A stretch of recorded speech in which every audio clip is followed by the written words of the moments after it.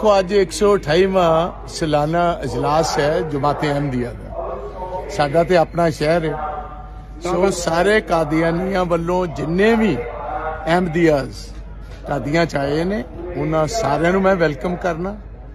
ਤੇ ਸ਼ੁਭ ਕਾਮਨਾਵਾਂ ਮੈਂ ਆਪਣੇ ਵੱਲੋਂ ਤੇ ਆਪਣੇ ਸ਼ਹਿਰ ਵੱਲੋਂ। ਸਾਰੇ ਕਾਦੀਆਨੀਜ਼ ਨੂੰ ਨਿਰੇ ਪੰਜਾਬ 'ਚ ਹੀ ਨਹੀਂ, ਦੁਨੀਆ ਭਰ 'ਚ ਜਿੱਥੇ ਜਿੱਥੇ ਵਸਦੇ ਨੇ, ਉਹਨਾਂ ਨੂੰ ਕਹਾਂਗਾ ਕਿ ਉਹ ਦਿਨ ਦੁਗਣੀ ਤੇ ਰਾਤ ਚੌਗਣੀ ਤਰੱਕੀ ਕਰਨ।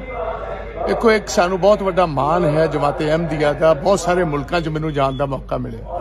ਜਿੱਥੇ ਵੀ ਗਏ ਆ, ਉਹਨਾਂ ਨੇ ਉਸੇ ਦੇਸ਼ ਦੀ, ਜਿੱਥੋਂ ਦੇ ਵੀ ਉਹਨਾਂ ਕੋਲ ਸਿਟੀਜ਼ਨਸ਼ਿਪ ਹੈ, ਉਹਨਾਂ ਦੀ ਵਫਾਦਾਰੀ ਉਸ ਮੁਲਕ ਨਾਲ। ਸੁਸਾਇਟੀ ਦੇ ਵਿੱਚ ਉਹਨਾਂ ਪਿਆਰ ਵਧਾਇਆ। ਤੇ ਇੱਕ ਪਿਆਰ ਦਾ ਸੰਦੇਸ਼ ਜਿਹੜਾ ਇਸ ਟਾਈਮ ਮੈਂ ਸਮਝਣਾ ਬੜਾ ਆਈਸੋਲੇਟਡ ਵੱਡੇ ਤੋਂ ਵੱਡੇ ਲੀਡਰ ਵੀ ਨਿਰੀ ਆਪਣੀ ਹੀ ਗੱਲ ਕਰਦੇ ਨੇ। ਬਗਾਨੇ ਜਿਹੜੇ ਨੇ, ਜਿਹੜੀ ਹਿਊਮੈਨਿਟੀ ਦੀ ਗੱਲ, ਸਾਂਝੀ ਗੱਲ, ਸਾਂਝੀ ਵਾਰਤਾ ਦੀ ਗੱਲ ਬਹੁਤ ਘੱਟ ਹੈ। ਹਰ ਆਦਮੀ ਆਪਣੀ ਬਰਾਦਰੀ ਤੇ ਆਪਣੇ ਲੋਕਾਂ ਤੱਕ ਹੀ ਮਦੂਦ ਰਹਿ ਜਾਂਦਾ ਇਸ ਗੱਲ ਨੂੰ ਰਿਅਲਾਈਜ਼ ਨਹੀਂ ਕਰਦਾ ਕਿ ਦੁਨੀਆ ਹਰ ਇਨਸਾਨ ਵਾਸਤੇ ਬਣੀ ਹੈ। ਹਰ ਧਰਮ ਵਾਸਤੇ ਬਣੀ ਹੈ, ਹਰ ਫਿਰਕੇ ਵਾਸਤੇ ਬਣੀ ਹੈ। ਜੇ ਸਾਰੀ ਦੁਨੀਆ ਵਿੱਚ ਅਮਨ ਤੇ ਸ਼ਾਂਤੀ ਰਹੇਗੀ, ਫਿਰ ਹੀ ਸਾਰੇ ਫਿਰਕੇ, ਸਾਰੇ ਧਰਮ ਤਰੱਕੀ ਕਰ ਪਾਣਗੇ।